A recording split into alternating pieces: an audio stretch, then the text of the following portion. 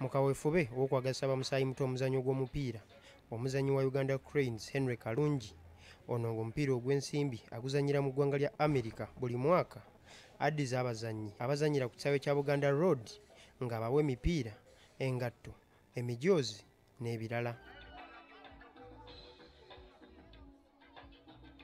Omwaka guno abiwadde abazannyi abasoba mu bikumi bibiri era n'akakasa nga bw'agenda okuzimba essomero erigenda okubayigiriza omuzannyo gw'omupiira n'ebyemikono.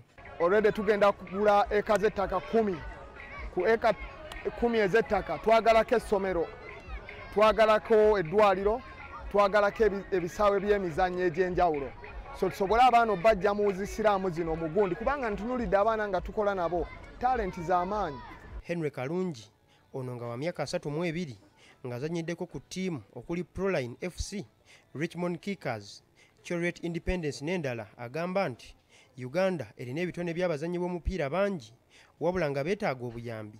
Ekintu kyatandiseeko. Sinsi katonda nyambye nensobola okutuukako ebweru nensobola okusamba omulamwa gwaffe kugezaako tulabe nga naffe tusobola okukomayo waka tuyambe tuwe abaana essuubi bamanye nti kalungi olaba yasobola okutuukayo mu maaso eyo naffe tusobola okutuukayo. Kalungi eyakazanyira uganda cranes emipiira 15 ayongeddeko nti omwaka guno bagenda kuyambako n'omuzannyo gwa volleyball nga nabo bagenda kubawa ebikozesebwa eby'enjawulo olunaku olw'enkya.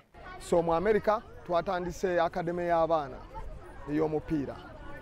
Okitegeera so abaana era mbadde involved mu bakokinga na buli kimu.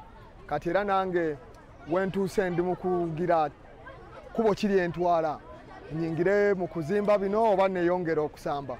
Guno gwe mwaka ogwokusatu nga kalungi addiza ku bazannyi b'omupiira era ng'abadde akikola buli mwaka. Beka resabula bbs terefina gambuuze